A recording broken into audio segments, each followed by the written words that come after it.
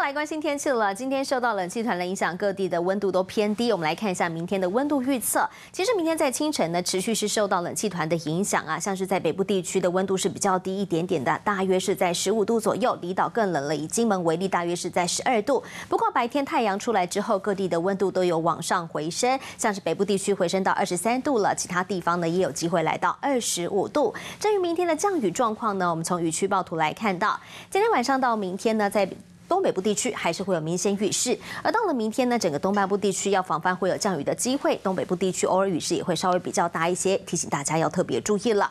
好，接下来呢，我们用这个小叮咛来提醒大家，明天的清晨呢，持续是受到冷空气的影响啊，所以是比较冷的，但是白天开始冷空气减弱，周三开始呢，这个是多云到晴的天气，但是早晚偏冷。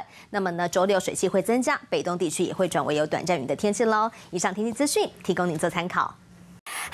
我是庄雨杰。想要看到更多的新闻内容吗？赶快订阅华视新闻的 YouTube 频道，并且开启小铃铛，跟着雨杰一起看新闻吧。